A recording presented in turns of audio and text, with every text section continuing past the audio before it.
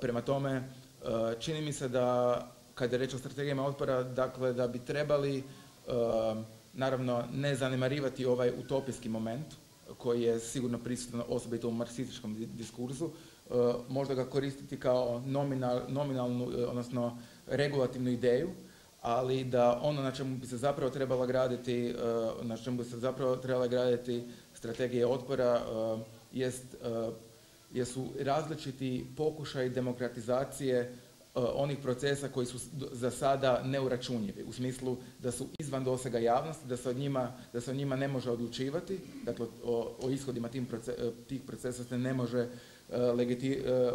odlučivati unutar neke smislene demokratske procedure, niti se o njima može govoriti budući da su u javnom diskursu, budući da je određeni set pojmova i koncepata koji bi omogućio pogled s druge strane, automatski diskvalificiran s ovim etiketom zazravca od socijalizma. Dakle, ne znam, čini mi se da, da, u, ovom, da u ovoj situaciji mislim da se ne treba osobito zavaravati o, o, o perspektivama i stanju današnje ljevice, osobito nakon debakla trećeg puta. Mislim da u, u ovim situacijama treba dakle, inzistirati na na ovim, kako, na, kako, kako se obično kaže, politici malih koraka. Naravno, imajući u vidu da je potrebna neprestana ne samo politička, nego i teorijska, i teorijska produkcija da bi se izašlo iz ovog deadlocka, dakle, iz ove, iz ove situacije Pa ja bih um, dodao um, zapravo Dakle, kad smo govorili sve ovo, ono o čemu smo pokušali, bar ja dijelom ovaj, pokušali govoriti, na koji način se prezentira proces demokratizacije. E, u, Hrvatskoj što uopće implicira riječ demokracija i gdje ona dolazi zapravo u kontradikciji sa procesima koje, koji se njenim imenom legitimiraju. A to su ovi neoliberalne e, reforme koje idu u korist kapitala, to jest određenog vrlo, vrlo uskog, mislim klasno, vrlo e, vrlo, vrlo preciznog lociranog mjesta koji sigurno nije mjesto većine. Ne? I ovaj, osnovni, prvi i osnovni korak, ja mislim, za bilo koju suvislu političku akciju, da bi se izbili e, dvije klopke. Jedna je klopka potpunog fatalizma, gdje se to dakle, vidi kao, kao proces potpuno, potpuno nedostupan za bilo koju ulaznu točku ovaj, osporavanja ili, ili otpora. Ne? da taj fatalizam koji se pokriva riječima poput globalizacija koja onda funkcionira, o tome sam pokušao isto dijelom nešto reći, dakle gdje se to prezentira kao malte kao povijesni usud ili metafizički usud ovaj, gdje onda zapravo te, te nužno stavlja u poziciju nekako pasivnosti i nekoga ko trpi, a s druge strane imamo taj tu drugu klopku, a to je nekakav voluntaristički avanturizam.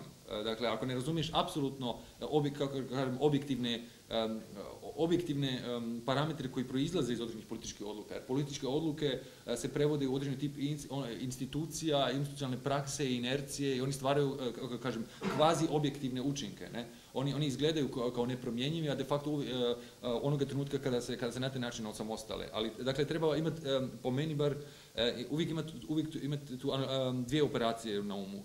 Analitički stvar, svaki put možeš dospjeti do mjesta gdje, gdje, se, gdje se cijeli taj proces, gdje se cijeli taj, sustav ponovo prevodi u mjesto političke odluke i da onda jasno osjetiš koji su to ulozi u igri i ko odlučuje i onda preko toga pokušati sagledati koje su smislene točke otpora. Dakle, nije svaki oblik, jer tu postoji onoga trenutka kada se zaboravi ovaj tip sistemske analize ili razumijevanja objektivnih procesa, onda dospiješ do, do i to, i, mislim, poznajem ljude koji doista vjeruju da je to jedini način lijevog otpora, da bilo gdje stvaraš kvazi, karnevalesknu transgresiju bilo čega. Dakle, odbijaš danas raditi ovo ili ono. Ili, e, mislim, svi, mi znamo to, ovaj, to, to, zapravo, tu samo inscenaciju neposluha. Mislim, što je isto, što je neka vrsta ludizma i, i ovaj, um, naivno voluntarističkog ludizma, a istovremeno ovaj, politički krajnje neproduktivno. Mislim da je to najefikasniji način da postaneš e, politički irrelevantan.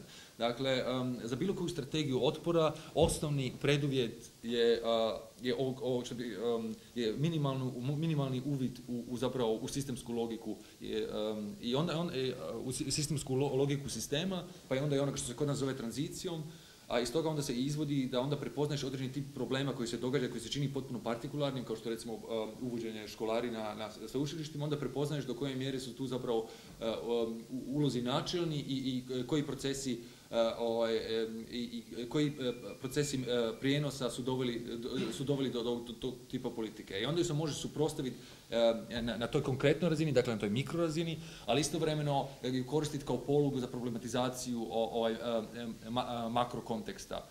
I onda bi to bi značilo, to bi, to bi bila ta oklada ulaska cijele, cijele te te problematike u javnosti. I time bi, a to je minimalni, to je osnovni preduvjet smanjenja demokratskog deficita u smislu disproporcije o informaciji, informiranosti i mogućnosti suvisle političke participacije. Dakle, onda bi stvar bi tu sve na nužno, valjda, u, u, ovakvom trenutku, na ono Gramscijevu formulu o pesimizmu intelekta i optimizma volje. Mislim da druge opcije zapravo, mislim, nemamo.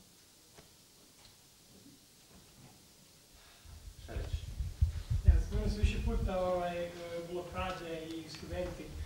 Koliko je mogućnost zapravo tog studentskog pokreta u Hrvatskoj, ali šire, da zaista na teorijskoj prihvaćenoj razini do nekoj bar na mikrorazini izazove recimo sustav i možda važno pitanje po meni koliko on može kao takav mobilizirati, iskomunicirati neke druge aktere koji su pojačači modernog tog sustava na djeluju?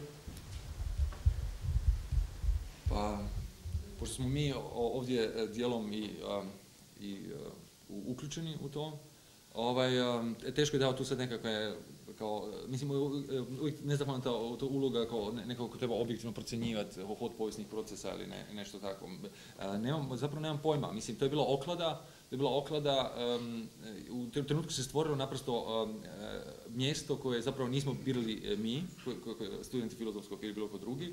Ako, ako se pogleda objektivno stanje stvari, zapravo čudo što se to nije ranije dogodilo. Ako pogledaš e, koliko zapravo se e, naplaćuju školarine u Hrvatskoj u odnosu na evropski standard, to je nevjerojatna, nevjerojatno, mislim, mi smo, ne znam točno podatke, možda čak i najskuplji, ali u svakom slučaju apsolutno pri vrhu, ako se gleda ovaj, da, u relativnim iznosima, ne, u, odnosu na, na životni standard. E, dakle, čudo je da se to nije ranije dogodilo. Dakle, ovdje postoji određeni tip, dakle, e, hoću reći, borba je uvijek već započela, to ne smijemo zaboraviti. Mislim, neko drugi je već odlučio, neko je već drugi odnio, donio taj tip političkih odluka. Samo je pitanje, dakle, ono što je Mislav govorio, postoji disproporcija u klasne samosvijesti i postoji, dakle, postoji oni, oni koji donose političke odluke, to onaj Folkerov citat pokazuje, ali ima jedna knjiga koja se ja, zato što mi je recentna, sociologa um, britanskog sa London School of Economics, Leslie Sclair, knjiga se zove The Trans uh, Transnational Capitalist Class, gdje on zapravo sociološki istraživao kroz različite intervjue, ovaj, pokušava ovaj, intervjuirati aktere um, globalizacije, dakle najveća, najveća poduzeća i, i, kako oni percipiraju taj proces i, i, i, koji su njihovi ciljevi. Tu se vidi da postoji vrlo, vrlo jasna svijest o tome što oni rade i zašto oni rade i zašto zagovaraju određene tip politike koje koji čine. Problem je naravno onaj povijesni problem u kojem se mi nalazimo, da se ništa slično s druge strane ne događa. Dakle, mi imamo potpuni zaborav, e, ne, ne, ljudi, e, dakle, potpuni zaborav e, vlastite pozicije u smislu klasne pozicije, pozicije u smislu onoga, onoga što nam se događa svaki dan kad odemo na radno mjesto i, i, i, i sve što iz toga proizlazi. Ne? Tako da, ovaj, Oklada je naravno bila, de facto borbu si morao prihvatiti jer si stisnut u tom trenutku, ali onda je oklada je bila da se preko toga pokuša otvoriti javni prostor koji će problematizirati, koji će uopće problematizirati e, taj tip rolling back ili, ili e, opoziva uh, određenih tipa stečenih socijalnih prava kroz, i preko, preko problematizacije svih tih legitimacijskih figura koje sam govorio. O tome da je to tobože nužan korak u državu blagostanja, a to mislim taj osnovni paradoks. Prvo moramo ukinuti sve da bi dobili, prvo sve opozvati da bi jednog dana ponovno ovaj, dospjelo. Mislim, logično bi pitanje bilo pa dobro zašto ukida tako već sad imamo, bar u određenoj mjeri. Ne? To su pitanja dakle, koje se na taj način ne postavljaju i, i, i, tako dalje. Dakle, to je bila, to je, to je bila oklada, jedna od oklada, u, tome koliko je uspjela ili ne uspjela, to ćemo, mislim, e, to ćemo, to ćemo vidjeti. Nije, to još nije, očito nije gotova stvar. Zakon nije, nije promijenjen, to svi znamo. A, ovaj, a po reakcijama medija, mislim,